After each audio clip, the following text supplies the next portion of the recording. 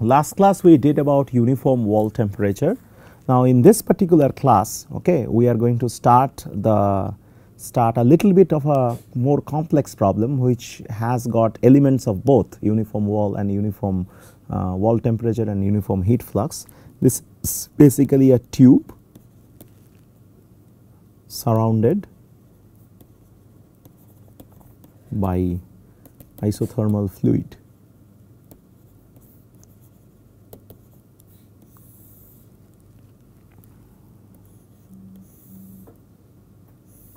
So, situation is something like this. This is once again the tube with R and X. The wall temperature of the tube is T naught which is not specified. The temperature of the external fluid right is specified. So, this is the temperature of the external fluid that is given as constant. Now, imagine this to be a situation in which a tube is placed in some kind of a you know heat transfer fluid. So, it is typical heat exchanger type of a problem. There is an external fluid which through external convection is actually taking away the temperature. So, there is a hot fluid going inside the tube okay. that hot fluid is transferring heat to an external fluid which is outside the tube right. Right now in the previous classes we are only concerned that there is a uniform heat flux or a uniform wall temperature we are not concerned what happens outside the tube right. We always thought that the wall temperature was kept constant by some means or there was a uniform heat flux uh, that was supplied along the tube wall. Okay. This is more realistic in nature that this particular tube which has which is carrying some hot fluid is placed inside a large you know convective medium of some other external fluid whatever that external fluid is can be the same fluid can be a different fluid also right. So, it becomes a typical heat exchanger kind of a problem Okay. So, it is neither a constant wall temperature, neither it is a constant heat flux condition, right. Whatever, however, the external bath is so huge, right, it is like a reservoir, large reservoir that that T infinity of the external fluid is kept constant. So, that means the external fluid is not varying in temperature, understood. So, it is like a large ocean. So, it is what we call typically a thermal reservoir, right, that temperature is not changing because T infinity value is very large, uh, I mean the, the thermal inertia is very large. But however, uh, the wall and the uh, and whatever is the wall temperature and the heat flux at the wall on the tube is therefore varying okay, because that we cannot assume to be constant. Okay.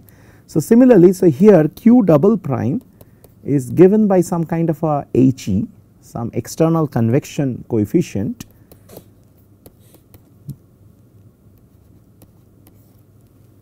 right. So, it is T infinity minus T naught right? T infinity minus T naught okay? Where T naught obviously will be a function of x in this particular case right? Okay and neither is q double prime is a constant in this particular case. So, let us assume a few things that the flow is fully developed. That has nothing to do with uh, anything right? The flow is fully developed. That means x is uh, greater than the max of xt and xh you know what xt and xh are right. Okay. So, we are defining Nusselt number define Nusselt number this is a little bit of a strange definition of Nusselt number T infinity minus T m into d by k right. What is T infinity? T infinity is the external fluid temperature right Tm is the mean temperature of the flow inside the pipe right. So, this definition of Nusselt number is very different because previously you had T naught minus Tm right or you had it in terms of the Q double prime right. This is very different that is because our Q double prime is defined in a very different way also right. So, therefore, let us take T is equal to T infinity minus T infinity minus Tm into G r bar okay. So, this is the definition that we are putting forward okay and this is the expression that we are casting that T that is the temperature is as a function of T infinity and Tm and it is this total expression is a function of R only okay like in our fully developed regime these are the things that we did. In addition we say that the tube wall thickness is negligible So, that means this avoids the complication that there will be a drop inside the wall. Okay got it. And therefore, its thermal resistance is also weak. So, there is no thermal resistance of the wall. Okay a wall is negligible. Okay it is just uh, because if it is a thick wall you have to also take into account the thick wall effect. Okay so we are discounting all that. Also your dTm by dx is given by 2 r naught q double prime rho cpu this is the average axial velocity. Right? Is the average axial velocity. Once again this this definition is once again the same as what we had earlier right? Ah, that whatever we had in our previous class. Now, let us cast this problem that means we first write the energy equation Once again I make it a habit that you write the energy equation even though this has been written countless number of times just that you guys get a feel okay, of writing the same equation again and again. So, once again this is the same flow field right because u is accurately solvable okay. So, therefore, you get this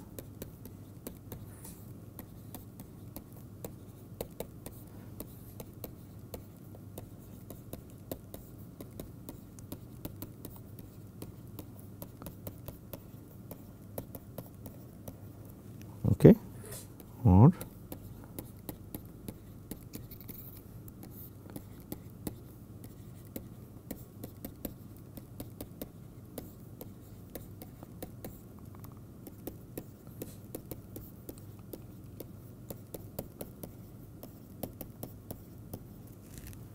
right okay okay just by using our own definition Okay. Now, individually d square t by dr square is given as t infinity minus Tm g double prime r bar 1 minus g naught r naught square.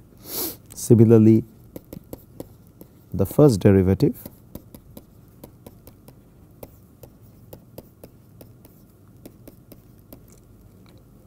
and r is obviously r naught into r bar these few things are given right given as a. Uh, so, I have not done anything funny over here except my definition of temperature and my definition of q double prime I have tweaked them according to the problem. That means, I have involved the external temperature field into the picture because that is the one that is constant right and the Nusselt number definition has changed a little bit. Okay. So, based on that I have started working on this particular problem. Okay. So, in other words if you cancel a few terms then you will get G double prime bar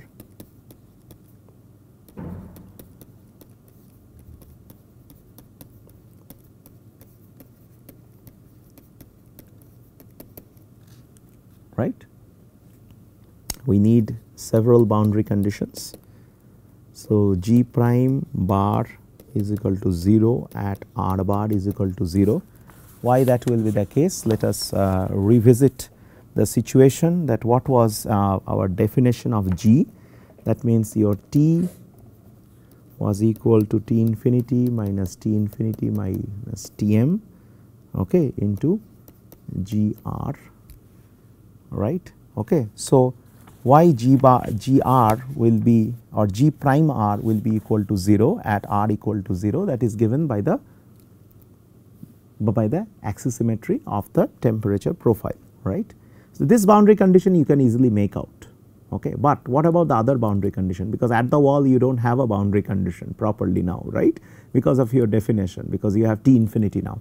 You cannot say when R is R bar is equal to 1 you will have G going to some some value okay you cannot say that okay. So, let us uh, recast it in a certain way define something called a Biot number okay H E R naught by K right H E is the external heat transfer coefficient right H e r naught by k. So, that is a perfectly valid definition of the Biot number right. Okay. So, B i into g bar is given as T infinity minus T divided by T infinity minus T infinity mean. Okay. Got it?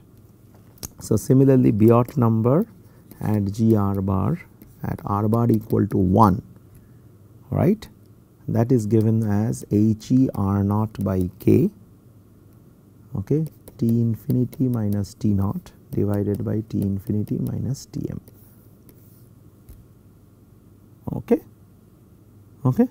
So, that is what we have. Similarly, uh, at r bar equal to 1 k dt by dr at r equal to r naught is exactly given as h e t infinity minus t naught right okay that is nothing but your q double prime right that is also equal to your Nusselt number t infinity minus t m into k by 2 r naught right. So, if I now do a little bit of manipulations on this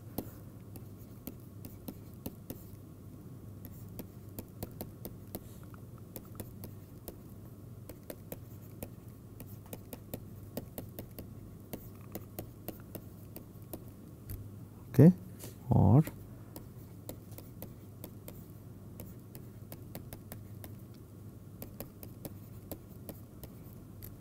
right okay which is nothing but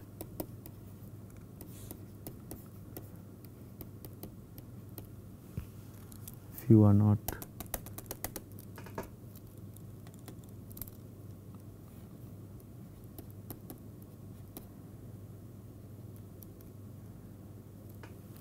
okay r bar is equal to 1 right. So, you got your definitions right of that what will be your uh, g prime at r bar equal to 1 okay. You also got the definition of what is going to be your g bar right. By introducing this basic definition of Biot number this is Biot number right by using this basic definition of Biot number in this particular case. Okay. So, now let us define something else also. Let us make it a little interesting. Let us define Nusselt number prime something called a Nusselt number prime which is basically q double prime T naught minus T m into d by k. This is basically what we call the duct side Nusselt number. Right because this uses the conventional definition of T naught minus T m. This is the definition that you are most familiar with right. Recall that your Nusselt number is basically T infinity minus T m into d by k correct. Okay. So, therefore, 2 by Nusselt number is equal to 2 T infinity by T m divided by q double prime k by 2 r naught 2 by Nusselt number prime is basically 2 T naught minus T m divided by q double prime k by 2 r naught. Right? Right? Okay. On the other hand your Biot number 1 over Biot number is basically k by h e into r naught which is basically k by r naught t naught minus t infinity by q double prime right? Or in other words okay 2 by nu prime plus 2 by nu you just add the two together right? It will come out as k r naught q double prime. T naught minus t m minus t infinity plus t m right? Or in other words it will come out to be minus k r naught into q double prime t naught minus t infinity which is nothing but 1 over the Biot number okay, which is nothing but 1 over the Biot number. Got it? Okay. So, in other words, what we can write over here is that 2 by Nusselt number prime plus 2 by Nusselt number is basically equal to 1 over Biot number in this case. Got it? Okay. So, the final equation that needs to be solved in all these things is basically minus 2 Nusselt number 1 minus r bar square in g r bar. Is no different than the expressions that we had earlier right? Okay? With subject to the boundary conditions g bar at r bar equal to 0 is equal to 0 g bar at r bar at r bar equal to 1 is equal to Nusselt number by 2 okay two particular uh, definitions we have. Now solve this problem. This basically is an eigenvalue problem. So solve this eigenvalue problem.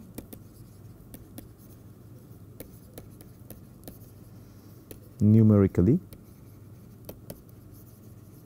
Okay numerically to get the answer. Now, there are two limiting conditions that are strictly possible uh, for this particular case right. Okay. So, what are those limiting conditions okay. So, let us bef before we spend a lot of time discussing it let us look at that if your Biot number is basically let us write down the most uh, common definition of Biot number this is this right. So, in the limit that Biot number goes to infinity right Biot number goes to infinity okay that would imply this would lead to that T naught must be equal to T infinity right. Okay. So, this basically means that T naught is equal to constant right. So, in this particular case the Nusselt number nu prime right which is the basically the duct side Nusselt number that value should be equal to 3.66 in the limit that Biot number approaches infinity right. Let us take the condition when Biot number approaches 0 right which implies that H e r naught by k is much much less than 1 correct Okay. So, this also implies very poor okay, thermal contact right. So, in other words T naught minus T m in that particular case is locally independent of x right. It's locally independent of x and T naught minus T m is locally independent of x corresponds to a uniform heat flux case right. Because if you recall in your uniform heat flux you had this lines which were parallel this difference was always constant regardless of x at any x the difference will be the same. So, when they are locally independent of x okay that means when Biot number is much much less than 1 okay it is controlled by heat flux. Or in other words this becomes a uniform heat flux case. That means the Nusselt number at Biot number approaching 0 right will approach the this is Nusselt number prime basically. Nusselt number of q double prime equal to constant right? That means will be equal to 4.36. So, that will be the value of Nusselt number that you are going to get when once you have this kind of a mediation understood.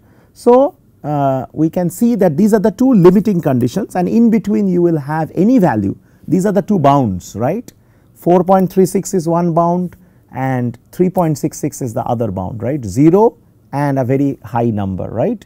So, in between all other Nusselt number values will be packed in between.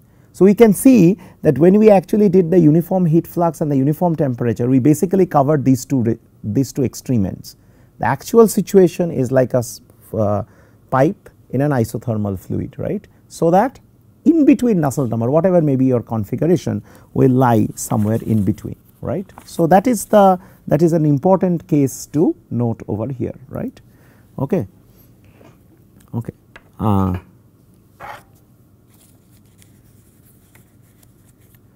points to note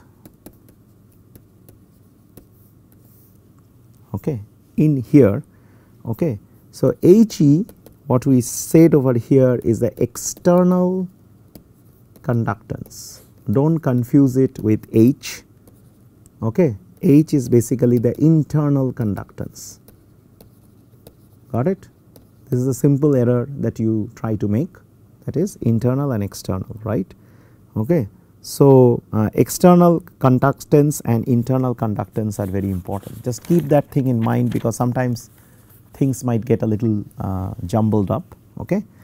Some general points to note is that the existence of fully developed T,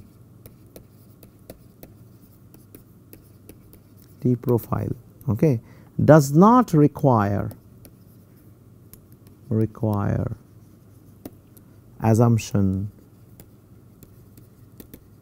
of large Péclet number.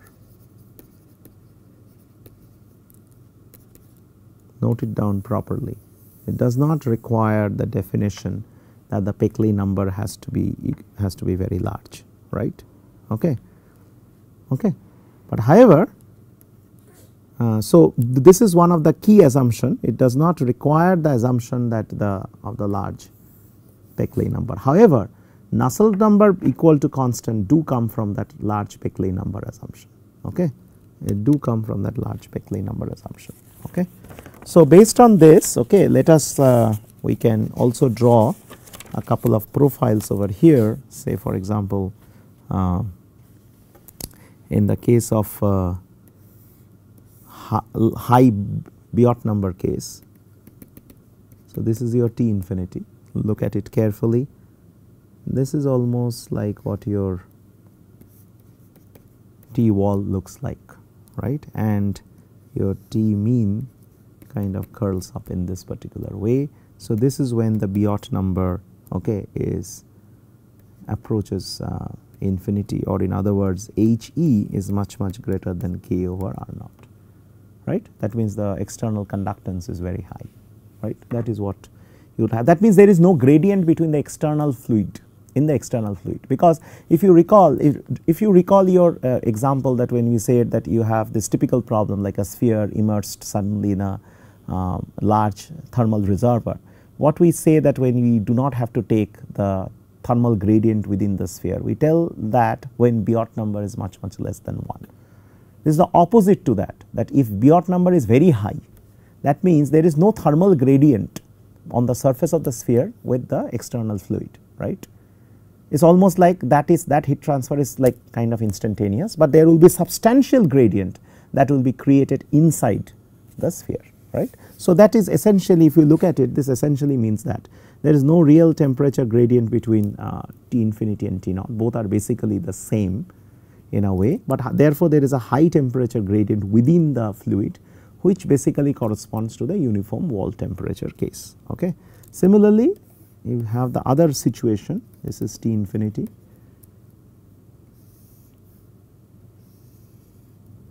So, this is actually your T naught, this is actually your Tm. They are, so here He is less than K over R naught. So, whatever happens in the external fluid we do not really care okay, because our internal conductance is very high right. So, it is always controlled it is not controlled by x it is basically controlled by the heat flux and that is exactly what we have drawn over here. Okay. So, that is I think the, the two grand definition okay. and uh, if you look at any other uh, fluid flow you can refer to figure 3.12 of uh, Bejan convective heat transfer. There you will find that uh, one would give you the flow that means the Nusselt number variation with Biot number. Here we have drawn the two extremes cases. There they will show you for the for a Poiseuille flow which is basically the flow that we are most concerned with okay. For that kind of a flow that what will be the value of your Nusselt number right. So, figure 3.12 of Bejan can be looked at looked for Nusselt number values for any or here it is Nusselt number prime for any Biot number. Remember Bejan in the Bejan's book that the Nusselt number is cast in a different way Okay, so you should once you do it you should keep in mind that what is the actual definition of Nusselt number right how he has defined it and how we have defined it as a part of this particular course right. So, in other words uh, Bejan's uh, 3 point figure 3.12 should be looked at uh, very very carefully right. Okay. So, and we will also share that particular figure with you in the next class. Okay we will start it there. And uh, we will also show you the the the Nusselt numbers with the for the different configurations. That means the cross sections. Those are mainly for handbook purpose. Okay because actual solving of this equation requires a little bit of effort right? But you can still take a take a quick look. But all we can say that it varies from 0.436 to 3.66 so that is the variation. That is the limit of variation of your actual Nusselt number. That is the duct side Nusselt number. It always remain within these two bounds.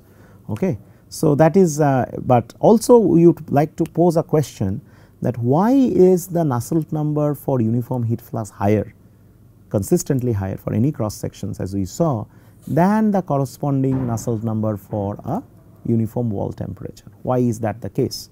This is an open question that we are throwing open in this particular class and we will give the answer uh, a little later but uh, the students can start to think about that uh, why is that the case, why this is consistently higher and we saw all other Nusselt numbers seems to stack up in between these two limits that is 4.36 and 3.66. So, what is the reasoning behind it okay if, if there is any re re reasoning that is. So, I think spend some time looking into this in the next class we are going to start looking at heat transfer to developing flow.